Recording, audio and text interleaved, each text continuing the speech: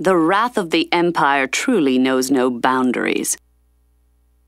Acting on the information of a bounty hunter, Lord Vader pursues the rebellion's top personnel to the Cloud City of Bespin. Seizing an opportunity to take control of the valuable Tibanna gas reserves, the Dark Lord's troops mass to invade and control the small outpost.